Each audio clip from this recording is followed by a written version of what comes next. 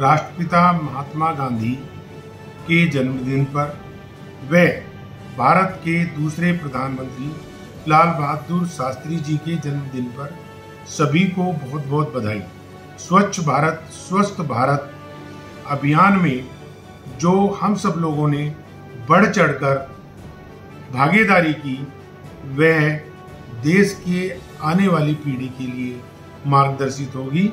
उन्हें सभी को बधाई। जय हिंद जय भारत।